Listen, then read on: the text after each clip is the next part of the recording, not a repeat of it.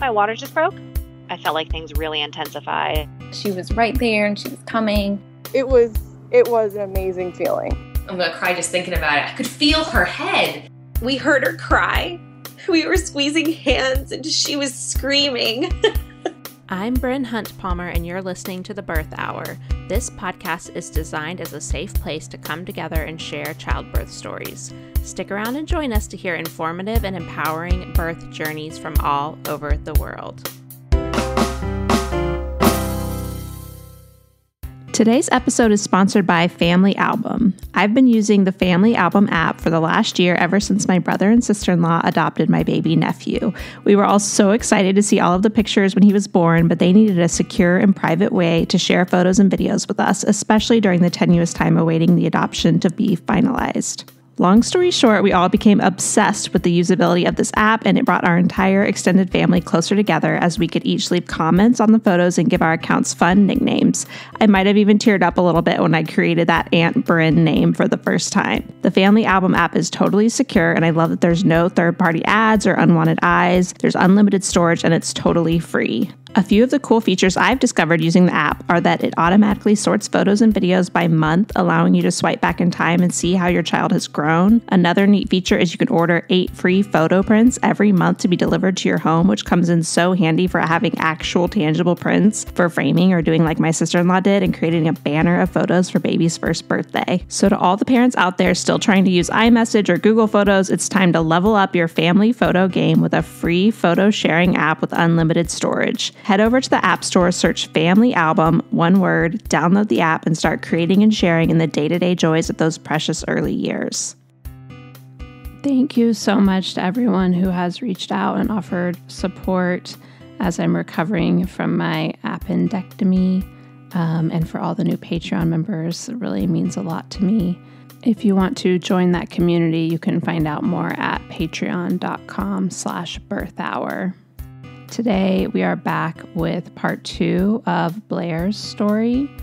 She's going to share how her midwives helped her get through her challenging postpartum, and then we're going to hear a really redeeming birth and postpartum experience with her second baby. And this really sweet midwife, Julie, I just love her. She was like an angel from heaven. And she was an older midwife who had been around a while. And she sat down with me and I explained everything I just said. And she put her hand on me and she said, Blair, you're experiencing pretty severe postpartum anxiety and depression, and we need to treat this immediately. And those thoughts that you're having are called intrusive thoughts, and it's not a reflection of you as a mother. And I just sat there and sobbed. And it was just really validating for me to hear that, you know, I'm not going crazy. I truly felt like I was going crazy and I wasn't feeling bonded. I didn't even feel like I knew where I was. I felt out of my body. It was so bad. I even revisiting it now, like it, I have this feeling come over me because I just wouldn't wish anyone to be in that place. Like it's just a dark, lonely, hard place. My husband was as supportive as he could be. He stayed home as much as he could be, but I was going through it and so you know and he had to get back to work. We're both self-employed. You can't there's no paternity leave. Like the paternity leave is days that you're not working you know? So it was it, it just was hard so this sweet midwife Julie really like she just got me. She could tell that like this was not going well and that I didn't have the bandwidth to truly advocate for myself or do much of anything at this point. So she actually called the OBGYN that works that they had a really great working relationship with with the birth center. She called this OBGYN and made an appointment on my behalf and she didn't even ask me dates or times. She just came back into the room and said, "Okay, next Wednesday at 2 p.m. you have this appointment. Here's the address. Here's where you need to go."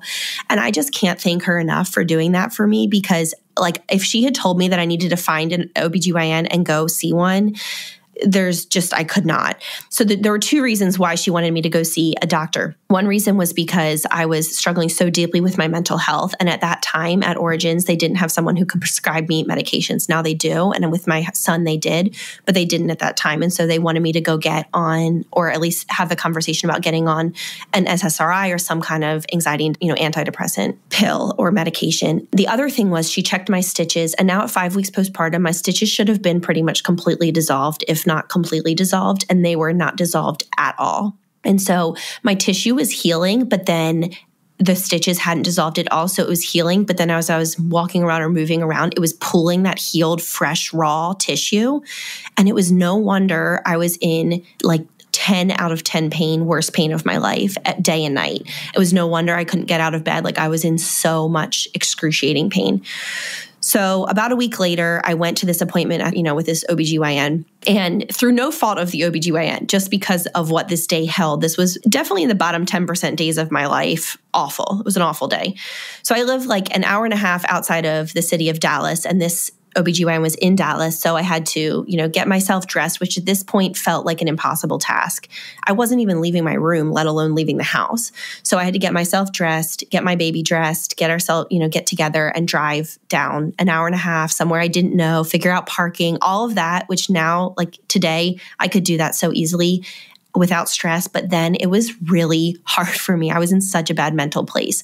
So we get down there. The appointment lasted about an hour and we started by going over my mental health and she said yes you obviously do have postpartum depression and anxiety. We're going to start you on this medication. I want you to start on a half dose. After two weeks go up to a full dose. Let me know like keep in touch. She was really thorough. I really appreciated her.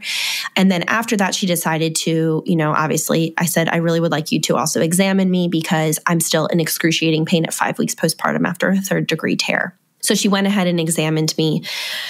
And this examination was just really traumatic, really, really painful because of the situation that was going on. And I obviously didn't know that there was such a problem, but she just sighed and I knew something was really wrong. So, come to find out, I am in the very, very rare category of people whose bodies don't break down this particular type of suture material. Usually, people who don't break it down are allergic to it, so I must be allergic to it. And it's called Vicryl, and it's like the number one suture material used for women after childbirth because it's like supposed to be the best one. And yet, my body didn't break it down, and I was super allergic to it. So, I was also really irritated and inflamed. And so, my stitches had not dissolved. My tissue was starting to heal, but was being pulled back open with this suture material that hadn't dissolved. And so it was like, no wonder I was in such excruciating pain. And then all of that had caused a four centimeter patch internally, like right inside my vagina of granulated scar tissue, which is very very painful. It like creates a really throbbing sensation. So once this was all explained to me it actually gave me a better picture of why i was in so much pain. But i was also thinking well, what are we about to do about this? Because you know i'm 5 weeks postpartum now and i'm not feeling i'm feeling like worse than i ever have. So she explained to me that unfortunately, my situation was never going to get better without surgery, and that she needed to go in and basically recut me, restitch me, cut out that four four centimeters is a lot in a vagina. Yeah. So she had to go in there and do all of that. And so I remember getting in my car that day to drive home. I turned the car on and I remember sitting there and sobbing, like my body was shaking, just sobbing and thinking, I've got to drive this baby and I home 90 minutes. Mm. And I feel like, like I, just, you know, yeah, bad. Yeah. It was so bad. So I got home and I explained the whole situation to my husband. And, you know, he's great. He was like, listen, I'm so sorry. This is awful, but we are going to get through this. Like, we're going to find a way. We'll figure it out. And so, for insurance purposes, we ended up scheduling surgery on December 31st at 8 a.m., just in the nick of time. Oh, wow. Yeah um, she's like, I don't normally do this, but I feel so bad for basically, but I feel so bad for you that I'll do it. And I'm like, thanks, girl. I really appreciate it. Yeah. So my parents flew into town to help take care of Nora and just stay with us for like a week after this because I was not in a good place and I really needed that extra support and I really appreciate them. So I live in Texas and they're across the country where I grew up in Maryland. So, you know, they came and put their life on hold. I really appreciated that. My husband and I drove down, went in, and they put me under anesthesia and did this procedure. Of course, I was asleep. I didn't, you know, know what was happening. And I woke up and I was a little bit sleepy, but it, I felt pretty good. But my perineum and all that whole area just felt like it was on fire. It hurt so bad. It was burning. And so I had been prescribed very strong pain medication. And the doctor had said, you know, this is pretty aggressive surgery. Most people would want to take this. But I really felt uncomfortable taking such a strong medication with a breastfeeding baby. And now looking back, I don't know what the right answer was. Like, I wish I hadn't been in that much pain, but I also understand wanting to protect a very brand new baby. So it was just a rough situation to be recovering from surgery and feeling nervous to take something that would help with the pain. So the pain continued for a while. For two or three days, I couldn't get out of bed at all. The recovery was really rough. For weeks, I was in pain. It was just hard. So I started the antidepressant though a couple of weeks before this surgery. So I was mentally starting to feel a little bit less cloudy, which was helpful. However, the recovery from surgery did not go as planned. Um, my mental health, like I said, was definitely improving very slowly. However, I had had to have four follow up appointments that all required revisions after my surgery. Oh my gosh. So one time she had to burn off more scar tissues. One time she had to cut off more stitches. One time she had to inject lidocaine and recut an incision and resew it. The next time she had to recut that same incision because it didn't heal quite right. It just went on and on and on. And it was, I was in such a trauma state. Like every time I would walk into that office, I would get this awful feeling. I would be shaking. I would, it was horrible. Yeah, that's awful. So emotional too. I know I've talked about that before, but just like that area of your body being injured is obviously super painful, but so emotional too. It really was. I felt so much shame. And now looking back with a clear mind and a healthy mind, I don't fully understand this, but at the time, I felt like I was doing something wrong. Like, why wouldn't my body heal? This is like my the womanly part of my body that wouldn't heal. And i just was it, it made me feel so like a shell of myself. Mm. it was so hard. I was in so much pain. And so this was for months. So the initial surgery was on december 31st and this went on all through january and all through february which is of 2020 february of 2020 so finally late february of 2020 i had my final revision my final everything and everything was like finally i was on the up and up. And i still had basically from that day was like the beginning of my real healing. And then it was COVID. So I had been at home and really struggling. And then, you know, mid March, of course, we're, we're going into lockdown. And so that was hard in some ways. But I will say, on a silver lining note, that I felt like my postpartum had been super robbed from me and my bonding time with my baby. And having the whole world shut down definitely made me feel like I could just really focus on bonding with my baby and enjoying her and not feeling the pressure to do much of anything. And so that was that was nice, although it was really hard because I had already been pretty much at home alone in my room for months. So I um, ended up doing a little bit of pelvic floor physical therapy before all the lockdowns really happened. I think I did three sessions to help work on breaking up that scar tissue and just finishing up the healing. The healing went on, and I mean, we weren't able to be intimate like in any capacity probably for eight full months. It was so hard. And at that point, when things started to heal up, I was just so grateful to close this chapter behind me yeah. and so grateful that I had had the care and the advocacy that I had had. I can't imagine what this would have looked like because it was already such a mess yeah. if I had, had not had a great care team. Yeah. So at eight months out, was it still, I imagine, like didn't feel like 100% back to normal? Exactly. Yeah. It was still tight. It still felt kind of sore and just weird, honestly. Yeah. But there wasn't really a lot of pain, mm-hmm. which I was so grateful for. Yeah. All right. Well, let's go ahead and hear about your second birth. Okay. So, because it took us a year to get pregnant with our daughter, we thought it would probably take a while to get pregnant with our second baby. So, we started trying kind of before we were really ready necessarily to be pregnant. But lo and behold, we got pregnant the very first month we tried, which was in January of 2021. So, we had another October baby due date. And so, our kids are almost exactly two years apart.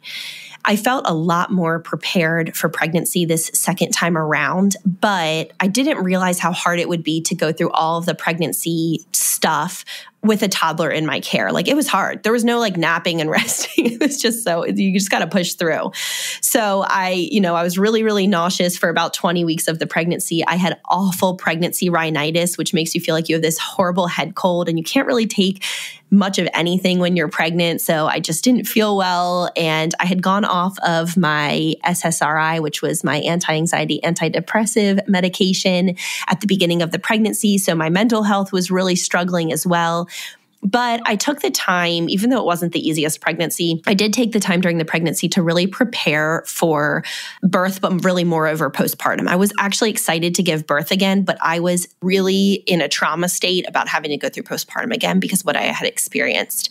So I went and found a therapist who specialized in birth trauma. I started seeing her we worked through a variety of things. She used a variety of techniques. The one that stands out to me was the EMDR therapy, which is eye movement desensitization and reprocessing. It's an extremely powerful way of working through trauma in the brain. And it was 100% effective for me in being able to put perspective to my trauma. And so that when i think about and talk about you know these procedures and all this nonsense that went down throughout my postpartum with my first kid like it doesn't bring up every awful feeling and it doesn't send me into a spiral which i really appreciate. So even though the pregnancy was hard and I, I was doing that, I also was doing um, a lot of pelvic floor physical therapy, like almost once a week for obvious reasons to try to get my body ready to stretch and birth another baby, hopefully not have another third degree tear. I took a lot of supplements this time, in addition to, you know, the standard ones I can think of off the top of my head, taking collagen every morning just to help with my tissue, stretching, healing, all of that kind of thing. I was praying a lot during this time. I just wanted this pregnancy, birth, and postpartum, mainly heavy on the postpartum, just to be super different because it was just so hard the first time. And one thing that was fun was that we found out we were expecting a boy and we had had a girl. So it was fun to have one of each. And so fast forward through the pregnancy because nothing major happened during the pregnancy to early October when he was due. I was thinking this time there's no way that I was going to go a full 10 days past like I had the last time, but of course, I did. so I had had a lot of prodromal labor, a lot, a lot of prodromal labor, and they were pretty intense there was a Sunday. He was born on a Monday morning. And so on that Sunday, I was having prodromal labor and I was having every 15 minutes, I was having a pretty intense contraction, but they were never getting closer together. They were never building. So we got up and I was like, well, let's just do the day. So we went to church, then we went to Cracker Barrel and ate brunch. I definitely got some looks at Cracker Barrel when I'm like trying to eat my pancakes and I'm like moaning through these little, they weren't that bad, but they were enough. So I was really eager to get things going. I hooked up to the breast pump. I was drinking an insane amount of red raspberry leaf tea. I don't think you're supposed to drink that much red raspberry leaf tea. Like, I think I put eight tea bags in one cup. I was like, let's go. I'm so done with being pregnant. so by Sunday evening, I was having some more powerful contractions, but still nothing was building. And my midwives had advised that I take a Unisom just half of a Unisom to help my body relax and rest. So at 10:30 in the evening, I took a Unisom and got in bed to go to sleep. And then it all began. And this was, it was just so fast. So at 1045, I had taken a Unisom, a sleep aid at 1030. 1045, I wake up with these wild contractions, like aggressive contractions. And when I got up, they were about seven minutes apart. And then by 11:30 so about 45 minutes later they were just continuing to get stronger and stronger and stronger. And so i'm thinking all right it's time to go so around 11:45 about an hour after i had originally woke up we start gathering everything and getting it into the truck now, I'm saying this sounds so crazy, but because obviously I was in a super, super active labor at this point. But after what I went through with Nora, where it just took so long, I was genuinely thinking, I still have six more hours. I mean, truly, I'm thinking we still have quite a while. Alas, we did not have six more hours. So then I get this shaking come over me and I am shaking uncontrollably and my legs are shaking and my teeth are clattering. And at that point, my husband calls my doula, calls the birth center, and he's like, listen, like this is for real. She kind of doesn't believe it's for real, but she is shaking. She is moaning, groaning. Like she sounds like she is like getting there. And so they were like, well, come on down to the birth center since it's an hour drive. I will not say that we were racing around the house. In hindsight, I wish we had, but we were not racing around the house. We thought, I truly thought I still had at least six, seven, eight, nine, ten hours before this baby was coming. As we're racing around the house to get ready, loading things in the car, the contractions are going from five minutes, then every four minutes, and then they're every two minutes. Right as we're getting in the car, they're coming every two minutes.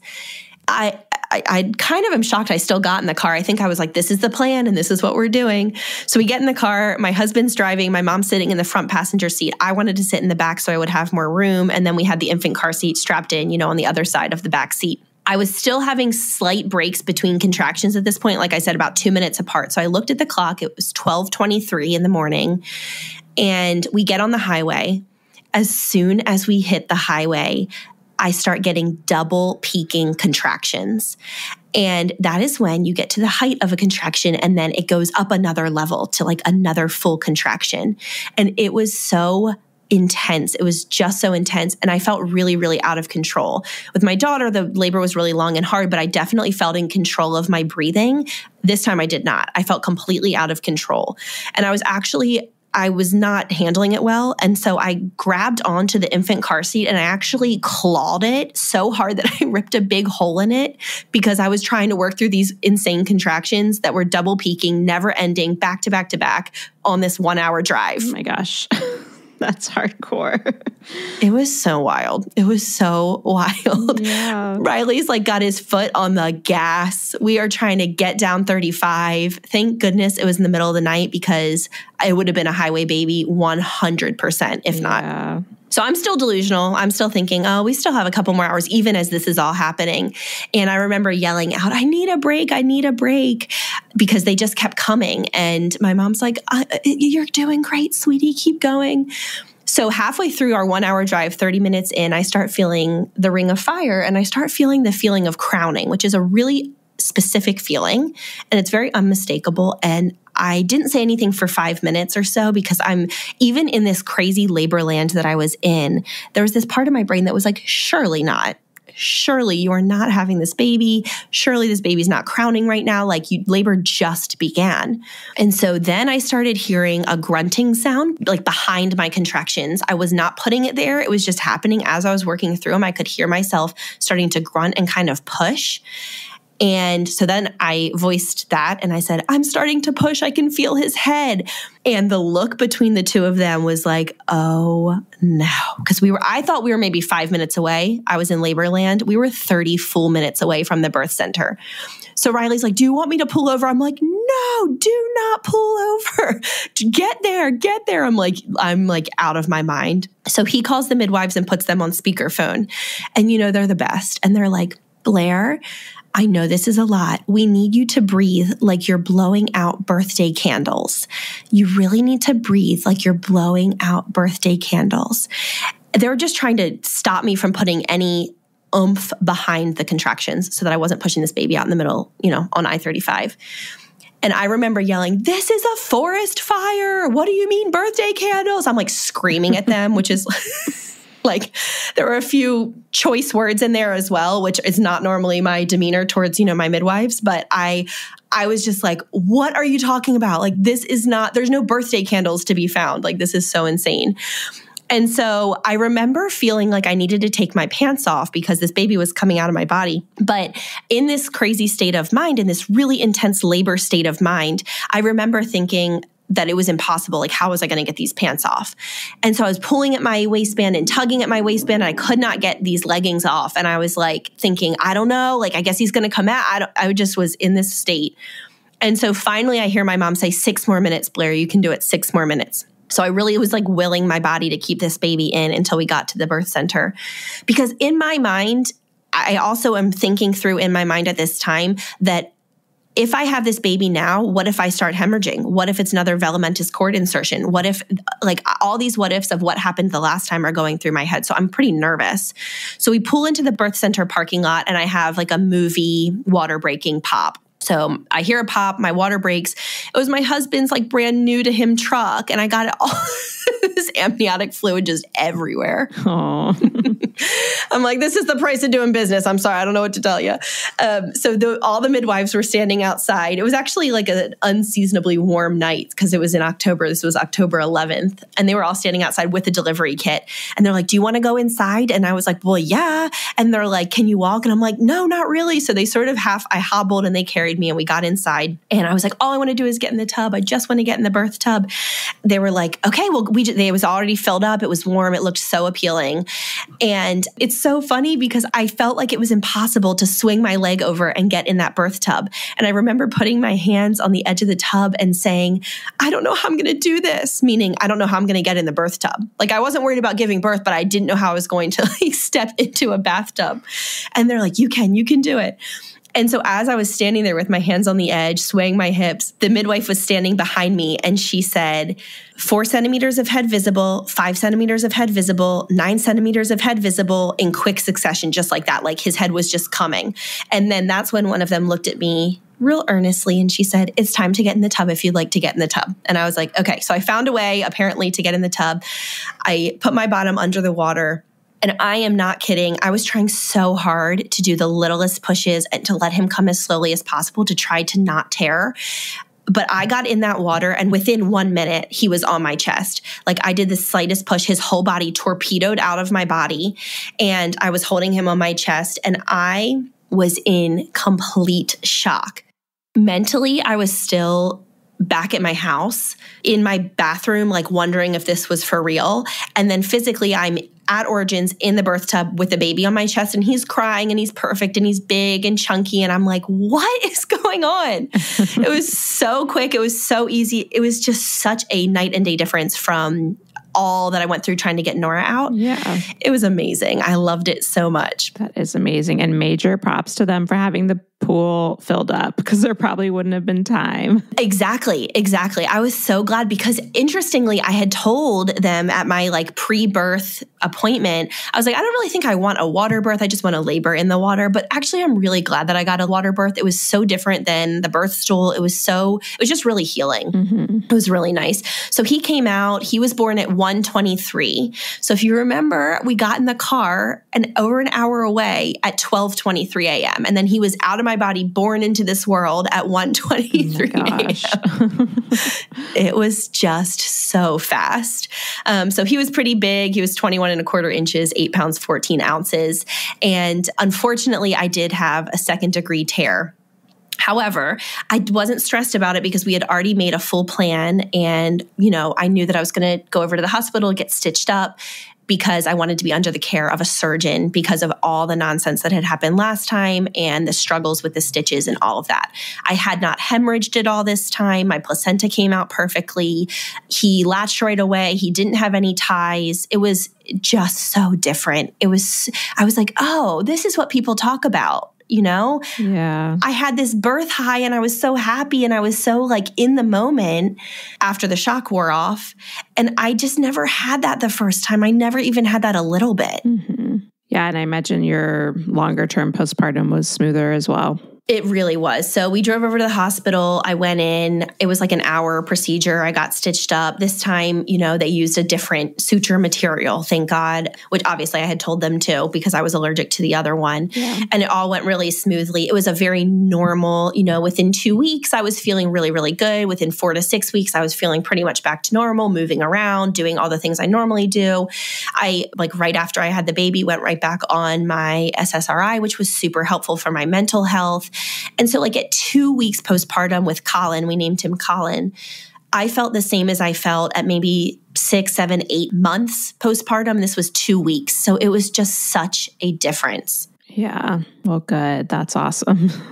it was great. So, just anyone out there who had a really hard time the first go around, if you choose to do it again, there's so much hope. Like, there's such a yeah. chance for it to be different. Yeah, for sure. Yeah, I've yet to hear two stories that are exactly alike or even really that close. So. no, and I would I always say people are like, "How did you do that with the second baby coming so so fast?" And I always say like I would take that any day over the first one. Yeah. Because it was just, you know, like it was so easy and fast and the midwife said usually when a baby's coming super fast there's almost never any issues because they're not being held up, there's no problems, they're just torpedoing right on out and everything's great. Right. Yeah. I feel like people whose first birth is precipitous feel differently, but I'm the same as you like 34 hours and then like less than three. Like I'll take that one every time. Yes. yes. Uh, absolutely. All right. Well, any resources you want to share? Yeah, so I actually have I have a blog blairblogs.com where I I don't blog very much anymore, but I blogged all through like pregnancies and postpartums, things like that. I also have a YouTube channel where I share all the time every week um, about my family. And back when I was going through all of this, I shared tons and tons of pregnancy updates, birth updates, birth stories, postpartum, all of that. Also, Birth Boot Camp was great. We did the online course. It was really informative. I really liked it. Um, of course, this podcast, The Birth Hour, is great. And then, if anyone has been through something traumatic and you are not finding a lot of healing for that, I highly recommend, if you haven't tried it, looking into the EMDR therapy because I found so much healing with that. And I had never even heard of it before, mm-hmm. but I, I just really recommended it. It worked wonders for me. Yeah. Yeah. I've heard a lot of great things things as well. All right. And then you mentioned a few different things that you're up to, but where's the best place for people to reach out to connect? Probably the best place is Instagram, and my handle there is Blair Blogs, which is just B L A I R B L O G S. All right. Perfect. Well, thanks, Blair. Thank you so much. Thank you so much again to Blair for sharing her story with us. You can find out more on her show notes, which you can always find at thebirthhour.com by searching for the guest's name in the search bar. I'm hoping to be able to keep a regular schedule starting next week. Uh, so hopefully, we will see you back on Tuesday with a new episode. Thanks so much for listening. If you enjoyed today's show, head to thebirthhour.com and click Become a Member to pledge your support. And as a thank you, you'll get an invitation to join our private Facebook group and access to exclusive episodes. Your vote of confidence and support means the world to me.